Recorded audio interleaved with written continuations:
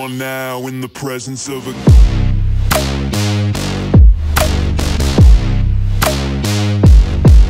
king.